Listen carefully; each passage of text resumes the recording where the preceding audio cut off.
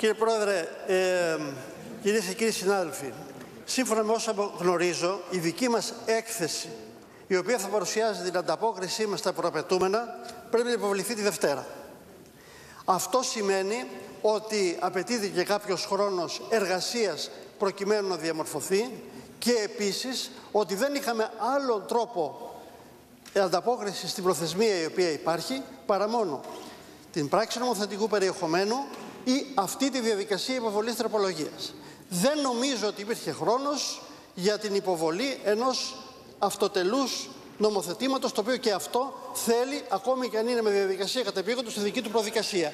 Επομένως, η διαδικασία η οποία ακολουθείται, η προτίμηση μιας τροπολογίας αντί της ποινική, είναι αυτή η οποία επιτρέπει να συζητηθεί το θέμα, ενώ με την ποινική δεν θα περνούσε καθόλου από τη Βουλή πριν φτάσει στο στάδιο εφαρμογής. Διότι μπορεί η ποινική να συζητείται εκ των υστέρων, αλλά βεβαίως η κρίσιμη εφαρμογή θα ήταν αυτή η οποία θα προκύψει από την συζήτηση της Πέμπτης. Έτσι διασφαλίζουμε ουσιαστική συζήτηση η οποία ήδη έχει αρχίσει και με την εξέταση ενός ζητήματος συνταγματικότητας το οποίο τέθηκε και στο οποίο θα προσπαθήσω να απαντήσω. Λοιπόν, νομίζω ότι το μόνο συνταγματικό θέμα το οποίο μπορεί να τεθεί ε, έχει σχέση με το άρθρο 73 και αναφέρεται στην ανάγκη να οι διατάξεις που έχουν δεξιοδοτικό περιεχόμενο να είναι ειδικές. Ενώ εδώ εισάγονται ως τροπολογία.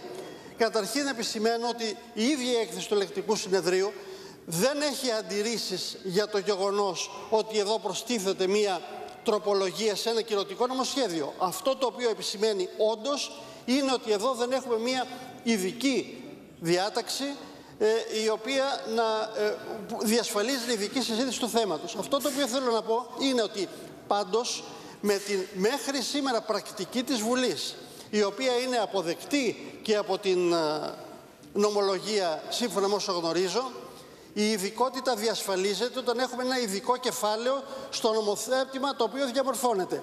Η ύπαρξη ειδικού κεφαλαίου είναι κάτι το οποίο υπάρχει χρόνος, είναι θέμα το νομοτεχνικό και νομίζω ότι υπάρχει δυνατότητα ε, στη συζήτηση αυτή ε, να διασφαλιστεί. Επομένως δεν θα έχουμε αυτό το πρόβλημα. Τώρα, σε ό,τι αφορά την μόνη ρύθμιση, η οποία φαίνεται όντως να έχει ένα ουσιαστικό περιεχόμενο, διότι οι υπόλοιπες εμφανίζονται ως ε, κυρίως νομοτεχνικές, να πω εν παρενθέσει ότι η χώρα απλώς προφανώς δεν θέλει για ένα ζήτημα το οποίο δεν έχει βαρύτητα, αλλά είναι νομοτεχνικό, ε, να δημιουργήσει κινδύνους σε μια ευρύτερη διαπραγμάτευση και να αντιμετωπίσει προσχήματα αρνητικά.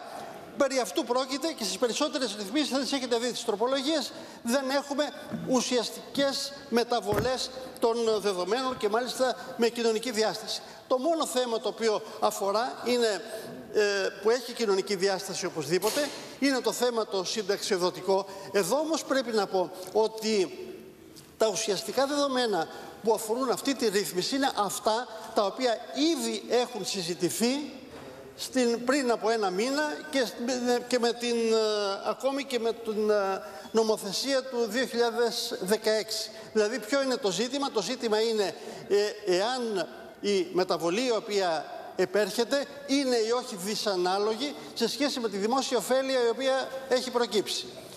Και την, στην προηγούμενη συζήτηση που είχαμε στο Κοινοβούλιο θυμήσαμε την απόφαση του Ευρωπαϊκού Δικαστηρίου που θεωρεί ότι η στάθμιση αυτή βαρύτητας, αναλογικότητας ε, είναι κάτι το οποίο γίνεται κατεξοχήν από την πολιτεία και όχι από το δικαστήριο και πρέπει να θυμίσω βεβαίως ότι το Ευρωπαϊκό Δικαστήριο στην υπόθεση Κουφάκης και Αδεδή κατά Ελλάδος αποφάνθηκε μετά από μια απόφαση του δικού μας Συμβουλίου Επικρατείας που έλεγε ακριβώς ότι η στάθμιση αυτών των ζητημάτων είναι θέμα της πολιτείας.